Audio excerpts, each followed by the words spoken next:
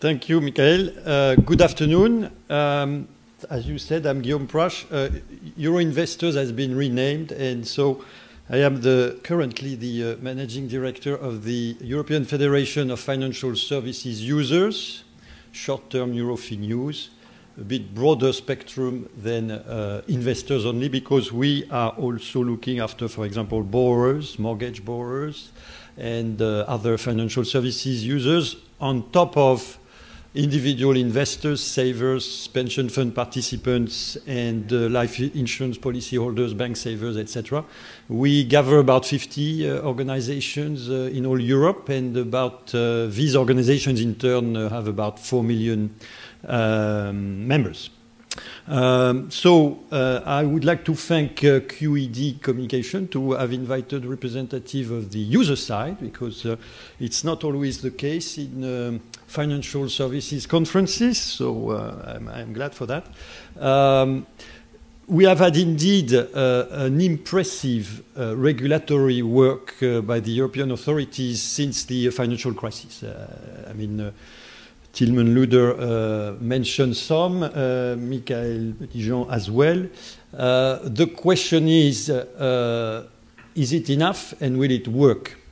Uh, one quick thing, uh, way to, to look at this, um, we, I mean, not we, but in early 2010, so just following the start of the financial crisis, there was a, a working group of all investors, not only private investors, but also institutional investors put together. So the, the buy side, as some would call it, uh, it's quite of the rare, uh, rare, um, rare times where we, we, we had this uh, kind of gathering uh, that was organized by um, CEPS, uh, well-known think tank, and by CFA Institute.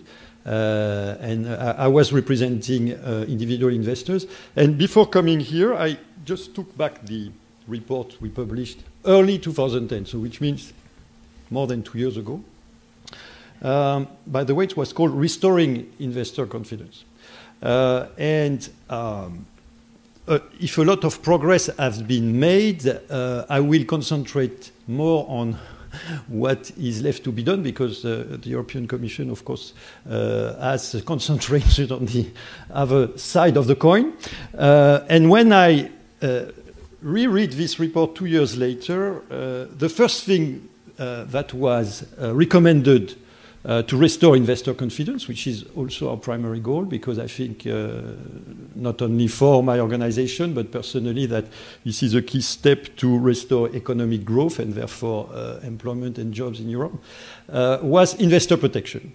And there are two pages on investor protection. And when I read them, I think the, the, first issue we have today is that there are still some key investor protection issues that are still on the table, despite, again, all the uh, impressive uh, regulatory work that has been done and which is still, in fact, being uh, finalized right now. We mentioned the PRIIPs, we mentioned uh, UCITS 5, uh, there is the so-called UCITS 6, I don't know if Tilman likes this word, but it's uh, another uh, regulatory project. Uh, there is a, a, green paper on long-term investing, uh, it should pop out any day now, but maybe Tilman knows better, in December.